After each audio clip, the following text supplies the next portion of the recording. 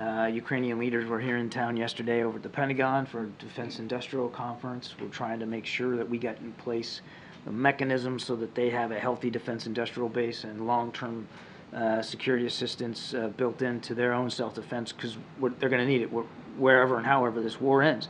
And uh, obviously, the events of yesterday were certainly a, a context and background to that meeting.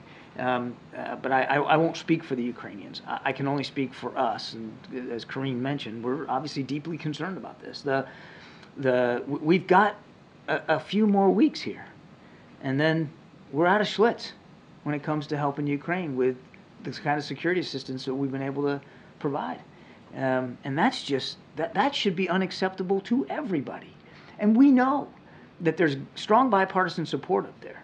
Uh, it's just that there are a small number of Republicans that want to hold that aid hostage for some pretty extreme border policies that the president is, is not willing to, to talk about. That said, he did say we're willing to negotiate in good faith. He does believe that there should be immigration policy changes as well as resource changes, and he's willing to have that conversation. So at this point, can the White House offer any assurances that more